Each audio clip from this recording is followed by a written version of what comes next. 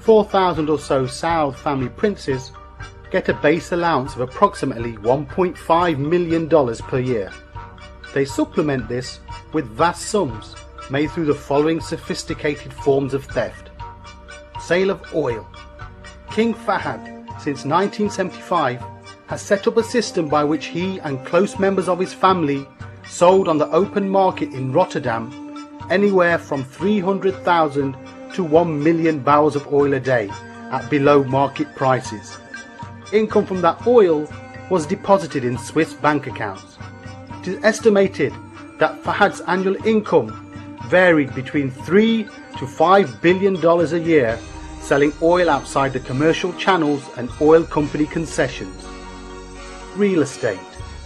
Land in Saudi Arabia is owned by the government and the government is controlled by the king with no accountability to anyone. Since 1975, land has been given to princes and their families by the government only to be sold back to the government itself, thus creating the easiest means by which to rob the government of its resources.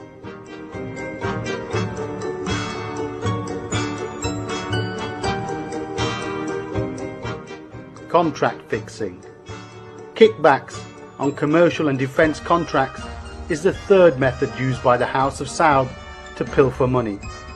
It is believed that every contract signed in Saudi Arabia has some form of kickback and commission.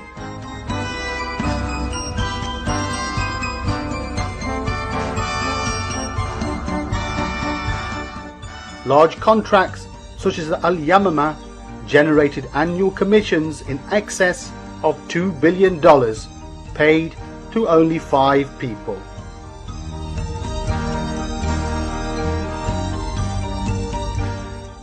Like a giant parasite, the US administration has also assisted in exhausting Saudi Arabia of its amassed financial reserves, totaling $121 billion. All this in less than a decade, and the Saudis now have to resort to establishing credit lines with the US government. This huge strain has been placed on the kingdom's banking system due to the fact that the 9,000 members of the royal family use these funds as their personal bank accounts, and most of these loans still remain uncollected. The National Commercial Bank remains drained, and one American official ironically called the unpaid loans the biggest black hole in the Saudi economy.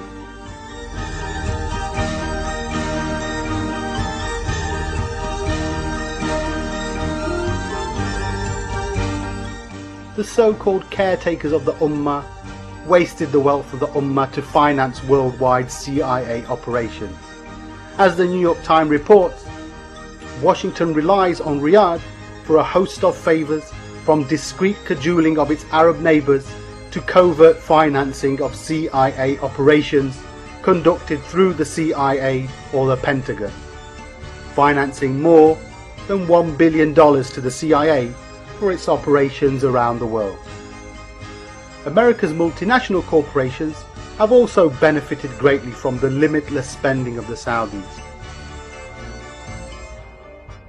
When America lured Saddam into Kuwait and then destroyed the infrastructure of both countries, it left the job of rebuilding and cleaning up in the hands of the multinational corporations. AT&T, for example, rebuilt the telephone lines of Kuwait and is now monopolizing it.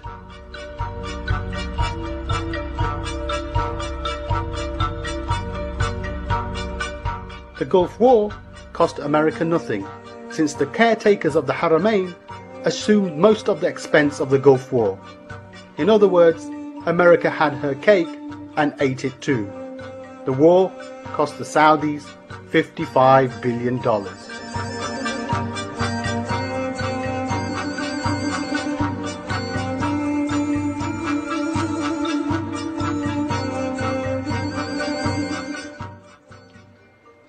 Abdullah worked closely with the late King Fahd in implementing the policies of Saudi Arabia, both external and internal.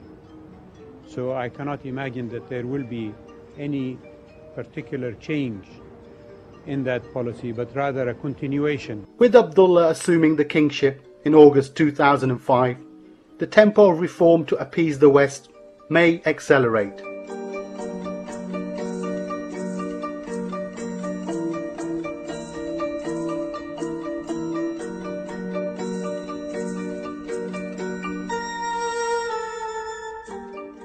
And Prince Bandar's return from Washington, where he has been adroit at forging close personal ties with the US administration, suggests that warm relations with the US will continue.